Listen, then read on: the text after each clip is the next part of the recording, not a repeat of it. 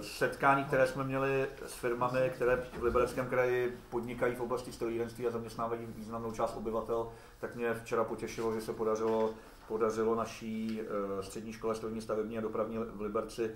navýšit kapacitu z 60 na 96 žáků oboru nástroje, což byl mimochodem jeden z těch, jeden z těch požadavků právě velkých zaměstnavatelů. Já si myslím, že oni by byli nejradši, kdyby tam nebylo 96, ale 960, ale to je bohužel trochu, to je bohužel trochu v dnešní době, v dnešní době uh, utopie, ale i tohle je určitě dobrá, dobrá zpráva a já pevně věřím, že ten obor bude uh, opravdu naplněn a že i obsah toho jednání, to znamená nějaká podpora stipendií a praxe, uh, praxe těch žáků, těch učebních oborů od druhého ročníku v konkrétních firmách, takže, takže vlastně pomohou jak zaměstnavatelům, tak na druhé straně naplňovat naše technické obory.